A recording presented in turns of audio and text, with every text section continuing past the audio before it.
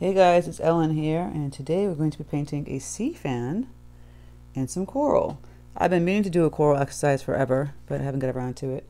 And I think it's just a fun thing to do when you're kind of stuck, bored, in summertime, and you want to do something fun maybe with your grandkids or your kids. Um, it's just easy. They could totally do this. I use one brush, play around with washing around color or whatnot. The uh, sea fan is kind of based off a sea fan that I've picked up actually myself and Turks and Caicos. Um, I will talk about that as we go further. If you have any questions, please leave in the comment section. Also, don't forget to check out my Patreon here. I have ad-free videos, exclusive tutorials, live streams on a monthly basis, and uh, yeah, place people can go and support my channel. And if you haven't hit the bell notification button, please hit the bell notification button. And if you haven't subscribed, please subscribe. So without further ado, let's have fun painting some coral and... Alright guys, I'm going to go over my supplies. I have two uh, pieces of Arches 100% cotton cold pressed paper. It's a 5 by 7 sheet. Um, I just tore off like, I basically have a 11 by 14 piece and I fold in a half, tear it, fold in half again, and tear it. Um, I use my Grumbacher number 10 and probably my Princeton 4 long round velvet touch series, water jars, paper towels, and paints. We're working with blues and greens um, you can use like magenta and the yellow to make like a pretty coral. Um, so the first one we're going to start off is, is the um, the fan. Um, I actually have a fan that I got back from. We actually found this in Turks and Caicos. We went to Turks and Caicos uh, many moons ago, probably like six years ago, or five years ago. Um, and I brought this back. Isn't this pretty? So it looks like lace. Actually mean to frame this thing and I haven't done it yet. Um, it looks like lace, so we can't actually paint all little crevices. We're to paint like a wash of color and then we're to go back in and paint some pretty veins and give the illusion of the lace, you know, without having to paint it because it's just like a doodle. It's just to make like a little, it's like a, like a tree, right? Looks like a tree branch. Just kind of a wash of color and then you put in the little branches. And the wash of color can be blues and greens and aquas, you know. Um, play around with it. It doesn't have to be like one particular color. You could do hot colors too. You could do pinks and oranges and whatnot. So we're going to play around with just washing and some color. Move this paper over here first. Start with this one. And we're just going to do an irregular shape. So I'm going to use my peacock blue and do like a light pretty background I get this fairly wet, right? I'm gonna add a teeny bit of yellow, cadmium yellow deep to that. Get that like greenish blue color. I'm gonna grab some more of that blue. Nice pretty turquoise. At the same time, I'm having like another blue over here. I'll have like ultramarine. See, I get a bunch of these wet. So when you do wet on wet, you can just bleed them right in. That's the whole point. Go back and grab that peacock blue put it over here. So I've got like three blue, three blues mixed up, just like so. It's more on the green side. I could actually put some green over here. So I got some cadmium yellow deep. I mix, take this color, which is the peacock blue, which is yellow. And we got that bright green growing right there. So I've got about four colors mixed up here. I'll add a little more peacock blue to this one. Some more of a turquoise. All right. So clean up my brush really well. As you can hear that clanking on the... And basically, you're going to take some water on your brush and you're just going to make this a regular shape. Like you saw the fan that I showed you. Right? If you have to draw it, draw it make it a regular shape. Kind of coming down into the tree shape with just water. Sometimes it's good to like see if you where it is. If you fold it on the side mm, making this a regular shape. You can always move the paint around once it's you know down and you don't like the shape. So I'm just going to fill this in with water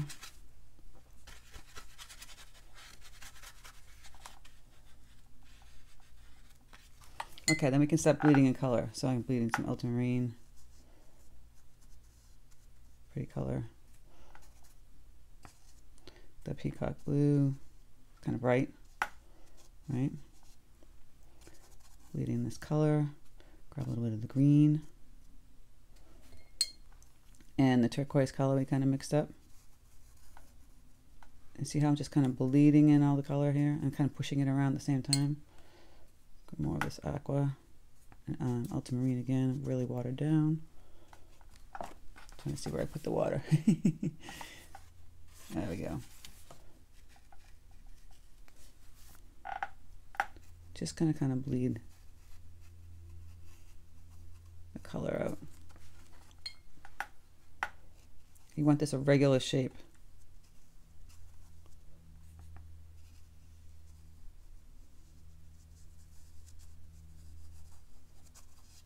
Shape. Bleeding some more. This ultramarine down here, like that tree shape.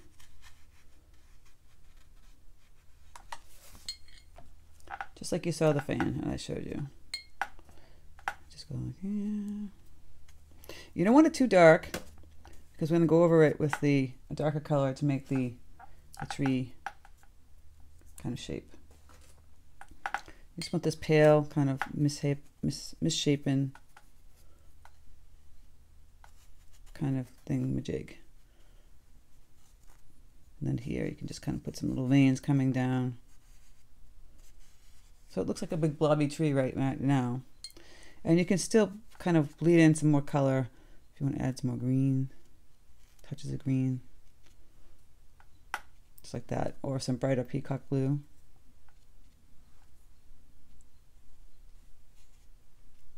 Just like that. This is a little fun exercise. If you do want to get a little bit darker on the bottom, grabbing some ultramarine and some Prussian blue. Kind of bleed that darker color. And do some wiggles like the tree branch, the the tree, not branches, but you know what I mean. This, there we go. See it's almost much darker on the bottom. Grab some more Prussian blue. Kind of bleed that.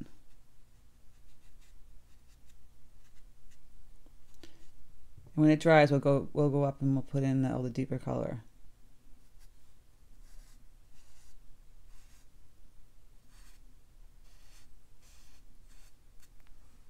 It's anchoring it.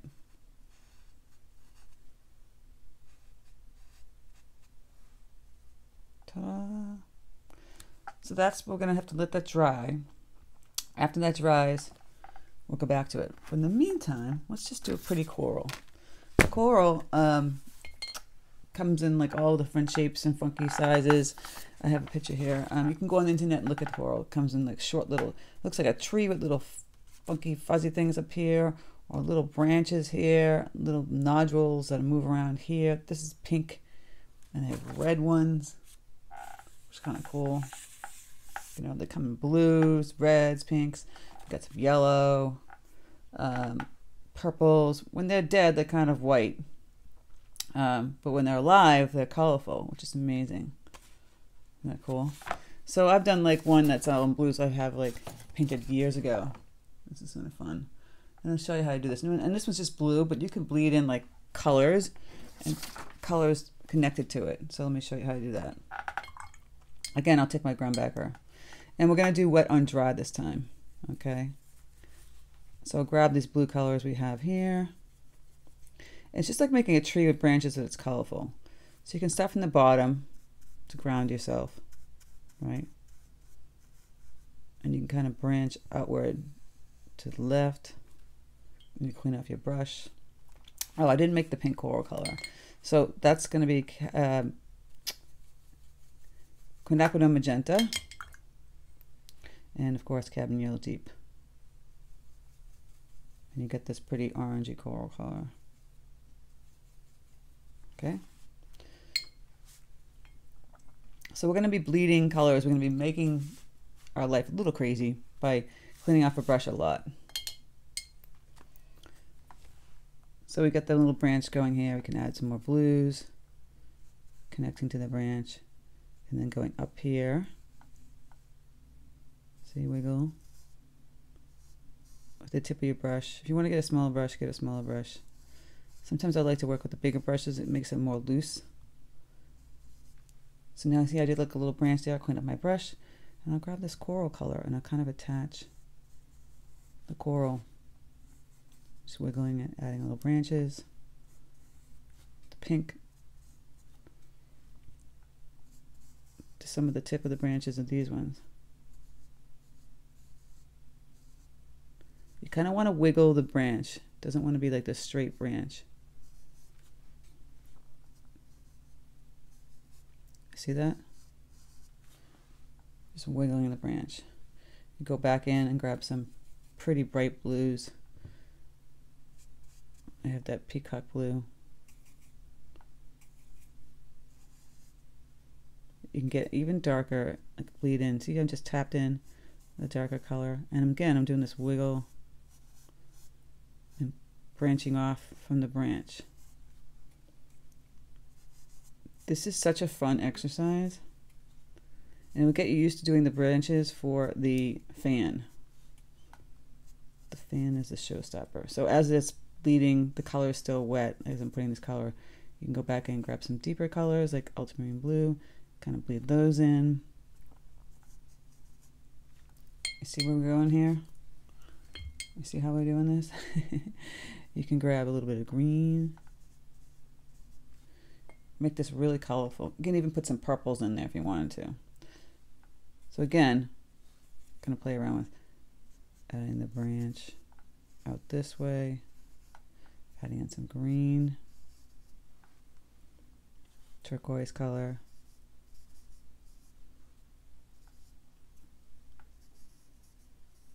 Just like this. And you want to wiggle your brush. Get this jagged edge, kind of coral looking. Wiggle, wiggle, wiggle. Already it's like cool, right? Now, you don't have to have multicolored. You could do like I showed you all just in blues. Um, I just think it adds a little fun to make the multicolor. Kind of get a little deeper, darker with this coral here. Gonna just bleed in some deeper tones.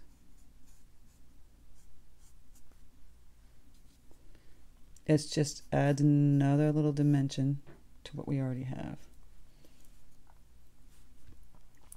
So maybe one of the branches off this is just all this coral color.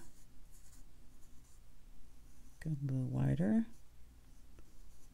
Because remember, this like this haphazard kind of branches kind of coming out. You're just kind of wiggling it with your brush, the tip of your brush. See, I'm just going to wiggle, jiggle, jiggle.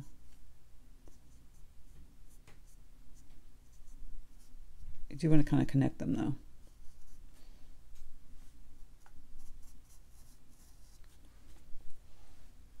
It's very organic how it happens. I'm just playing around with adding color and the branches. And once this dries, you can do an overlay of another small one below. I'll show you that when this one dries. After you go to the sea fan.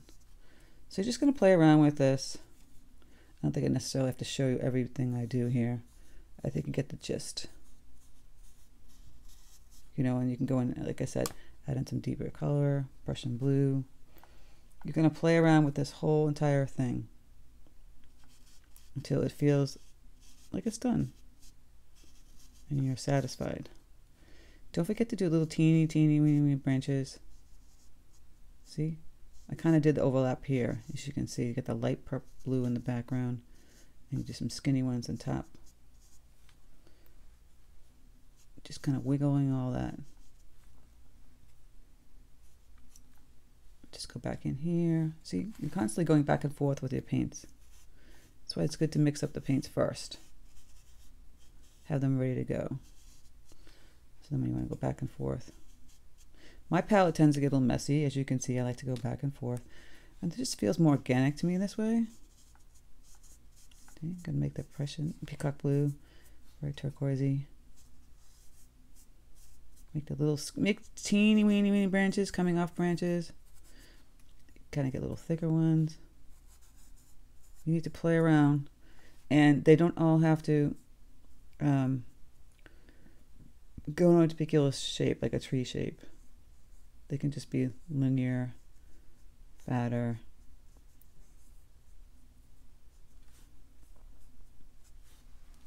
See, it's organically just kind of moving around. There's a bug there. Real-time tutorial, folks. Adding a little deeper color down here.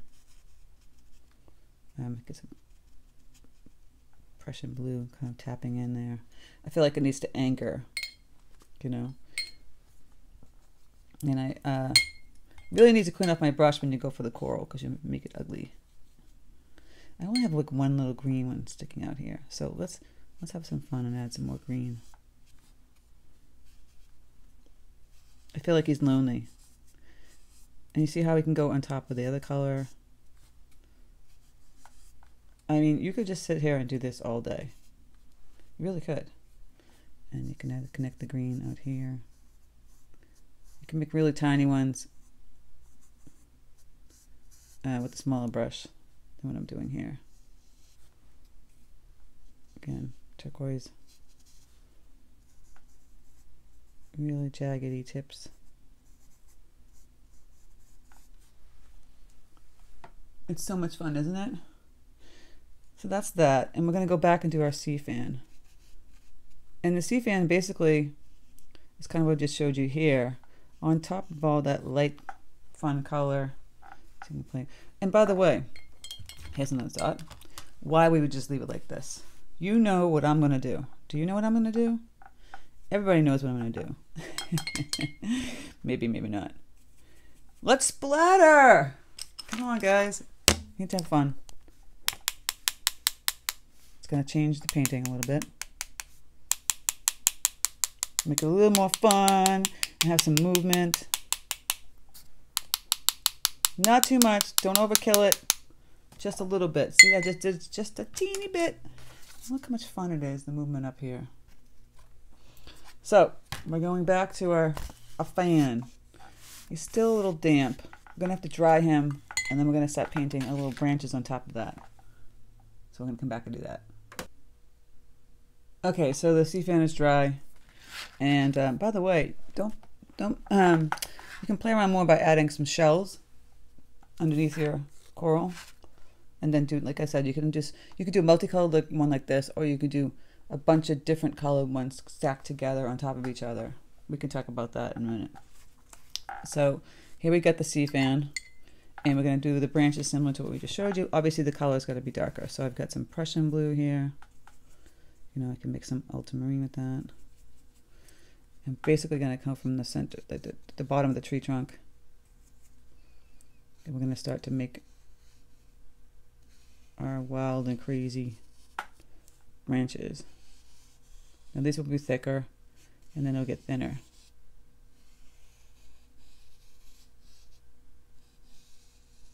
Right? Just like this. Mm. So I will get the smaller brush in a second. Just kind of putting in the thicker ones.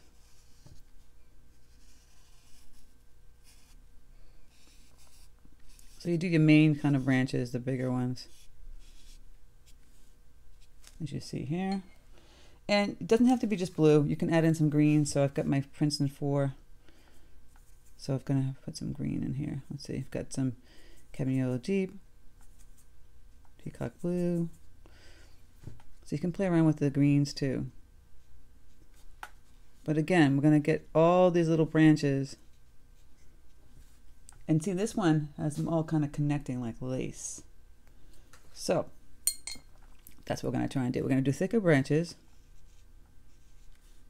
See, branching out with some green, some Prussian blue.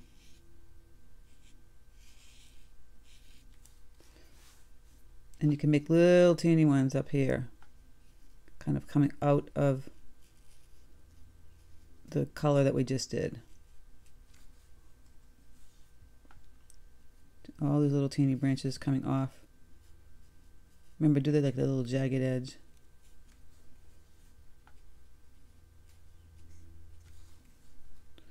All these little jagged branches, like the coral. So you could do all the little lace. You could do tons of little jagged edges too, going off. You don't have to show all the jagged edges.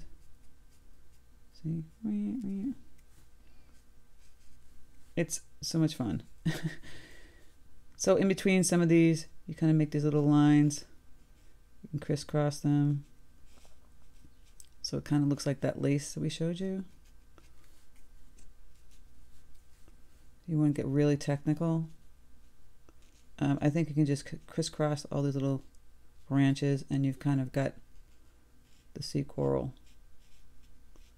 This is like a fun doodle to play with. And you can add some greens, a little deeper blues, some of the turquoisey color. Don't be afraid. The trick is to kind of make them all jaggedy. And since you're painting it on top of the light color, we already kind of get the feel that it's the sea fan. So you can paint the really skinny ones you could do, you know, it's just kind of like these weird patterns. I think it's just easier to go crisscrossing lines like so than to, to you know, draw all the perfect little circly patterns. You can make yourself a little crazy. Just like this. Crisscross, applesauce. So you're going to do all these little jaggedy things. You can add some more branches if you want to. Now the actual sea fan that I have just has a few branches. But Artistic Liberty is more fun. I'm adding some more deeper Prussian blue. And I'm just going to go in here and just keep adding little teeny tiny branches. Add some up here, kind of branching off. Just gives it a little delicate touch to it when you realize that it's a sea fan. Isn't this fun? Are you having fun yet? So I don't want to bore you with all my little branches, but you see what I'm saying, and we'll come back to my finished guy. All right, so once you've done all your little veins, I feel like I need some white in there. I'm going to splatter a little bit white. So I've got um, some white gouache here. Gonna water it down so I can splatter it. It's kind of thick. And one kind of big ones. So I'm getting some bigger brush here. Splat.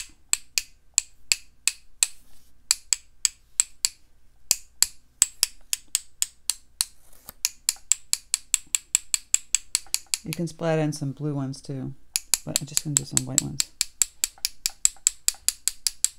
Maybe a little more in some areas. Just feels a little more, you know, delicate this way.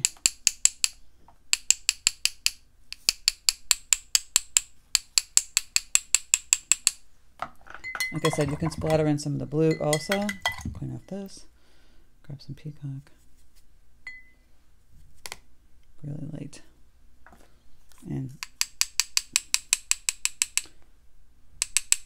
Splatter some blue also.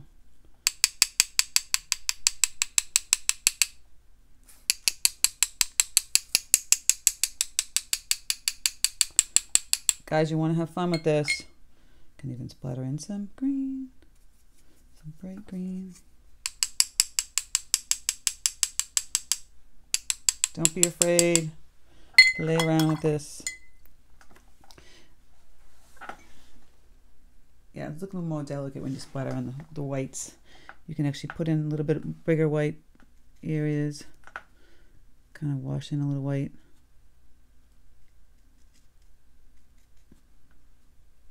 Just in a few areas. Just playing around with adding some white. I feel like I washed in too much color and I wanted to add in some lighter areas. So you can go play around with that. Voila. So then you got your coral and your sea fan. it's fun to play around with this, right? And what I was talking about before is that you can add um, colors on top of this. So maybe you have like a greenish turquoise and you can add a little coral over here in front when it's dry. Add another one. Layer upon layer, some coral. See that? Anchor this one in the bottom. Once this one's dry, you can't do it, you know, you could do it when they're wet, but it was going to bleed into each other. And this could be a different color. And tap in some of the color. So you have a coral upon a coral. I'm just grabbing some um, Prussian blue.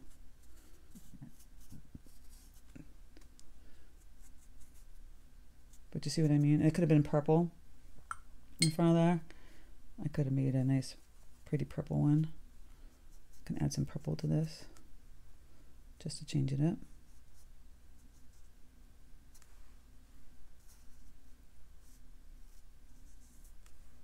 Just like that.